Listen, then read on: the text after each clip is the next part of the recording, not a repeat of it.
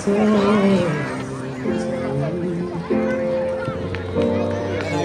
famous Jefferson dancers with me today.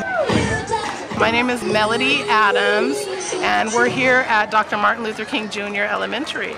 Today we're celebrating, honoring our namesake school, and uh, celebrating our community and how we have come together as an example in the same way that Dr. King's dream wanted us to um, in his I Have a Dream speech. So we're kind of continuing on with his legacy.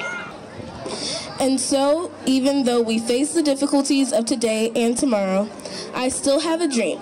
It is a dream deeply rooted in the American dream.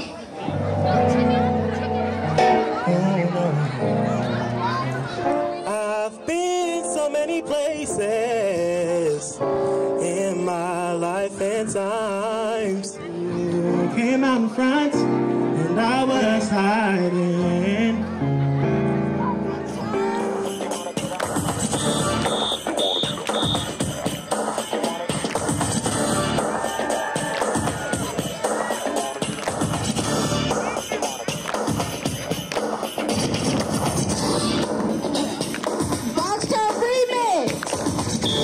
The goal of celebrating this event is to build community partnerships and also showcase student work. Our students work really hard.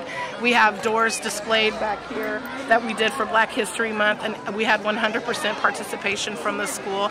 Uh, Maya Angelou once said, what you're supposed to do when you don't like a thing is change it.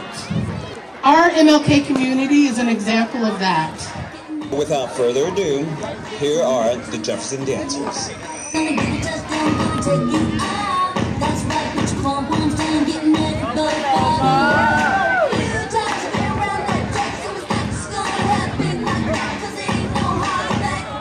So we're just really want to, you know, it's been a hard year, you know, with COVID and all the other things that have been going on and, and around our surrounding community.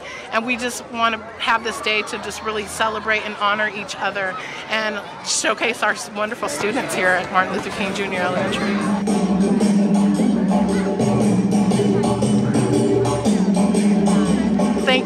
For coming and I hope you enjoy the show.